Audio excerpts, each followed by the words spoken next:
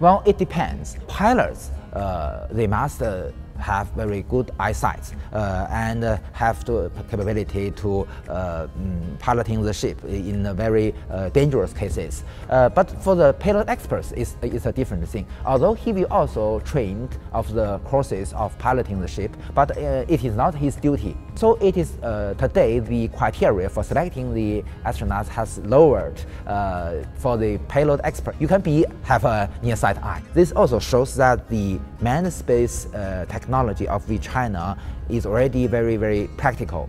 So the criteria can be lowered. It is possible, uh, and it can be utilized for, uh, as we mentioned, uh, the payload experts who has not the capability, uh, uh, ability to piloting the ship.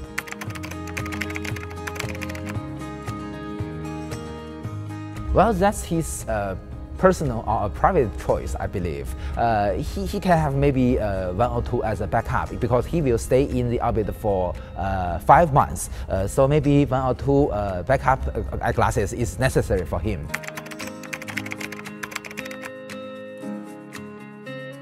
you don't need to worry about if, if the glasses will flow away because you know that uh, we uh, wear our glasses and it is fixed and it will not flow.